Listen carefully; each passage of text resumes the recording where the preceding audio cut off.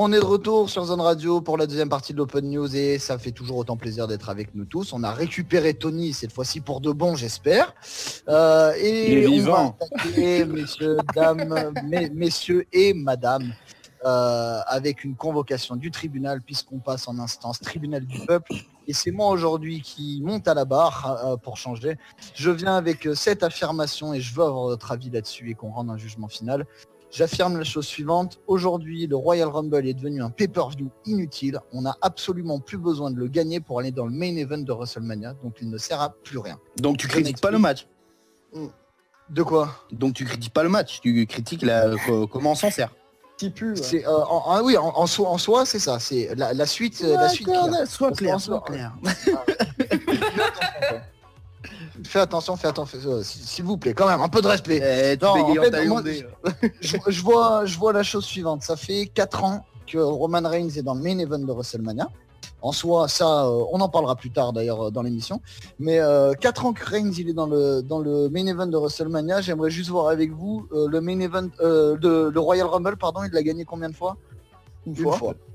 Une fois, ouais. Voilà. Donc c'est pour moi une des choses qui viennent euh, soutenir le fait qu'aujourd'hui le Royal Rumble match ne sert à plus rien au niveau. après, il a été quatre fois dans les trois derniers. Hein. Ouais, mais en attendant, il n'a pas gagné. Oui, non, en fait, c'est pas parce que les superstars euh, vont euh, au main event ou vont à WrestleMania tout court que le Royal Rumble il sert plus à rien. Au contraire, il n'est pas inutile en fait. non, à la base, si, on reprend la définition de ce que c'est que le Royal Rumble match, le, gagnant du Royal Rumble match, c'est la personne qui décroche son ticket pour WrestleMania, mais pour le, main, event de WrestleMania. Le main, event. Ben non, je suis pas d'accord parce que moi je trouve que bah, ça sert à divertir, ça sert à faire revenir des anciens, donc ça électrise un peu la foule, tu vois. Mais euh, non, non, je suis pas d'accord. Moi je trouve qu'il a encore sa place ce pay-per-view là et que sans celui-là, et eh bah, je trouverais, enfin, je trouverais ça dommage en fait de plus voir ce pay-per-view parce que bah personnellement c'est l'un des seuls pay-per-view que je regarde encore. Oh putain c'est un argument ça. comme lui il a dit soit Reigns il a gagné quoi? Reigns il a gagné le Chamber pour aller dans le main event de Mania. Il a pas gagné le Rumble? Bah il a pas gagné le Rumble mais il a quand même gagné sa place. Oui mais oui mais que... alors attends est-ce que quelqu'un peut expliquer à cette jeune fille qu'elle est à côté de la plaque Qui est à côté de la plaque. Hein, est-ce que tu peux avoir mon avis Bah alors eh ben est-ce que je peux parler? Vas-y, François, on t'écoute. Merci, j'aime bien. Juste un truc. Alors déjà, euh, tu dis n'importe quoi. Euh, genre, le divertissement, je veux dire, si tu regardes le 4, c'est pour du c'est pour du divertissement. On va pas dire le Royal Rumble, j'aime bien ça, c'est du divertissement. Sinon, euh, t'arrêtes. En fait, si tu veux pas de divertissement, t'as pas de 4. Après. Mais j'aime bien revoir les anciens aussi. Mais tu vas te taire. C'est pas le débat, on t'a dit.